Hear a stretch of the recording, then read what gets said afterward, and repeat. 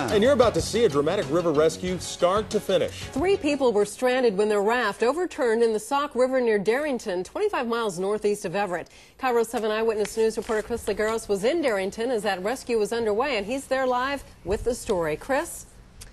Yeah, live along the Sauk River. Wanted to show you the conditions here. Take a look at the water. It's still running very high, very swift. Lots of white water out there that can be dangerous.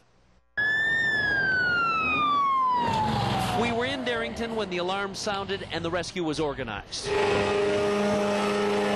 Firefighters launching a hovercraft on the swirling Sauk River to try to pick up three people stranded on the other side, a heavily wooded area without roads. Apparently they were in a raft and it capsized or hit a tree or something. Just kind of hit some rough water, ended up rolling their boat.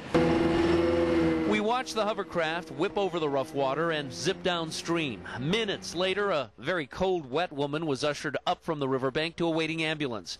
She was followed by a young girl who practically dove into her arms. We then watched the hovercraft carry the third victim, a man, across the river.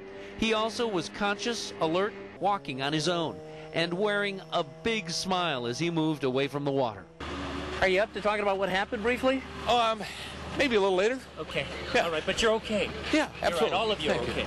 We're, yeah, a little wet, but we're good. They were really happy to see us. They were, uh, they really wanted wanted out of there. So. They're, they're ready to go home.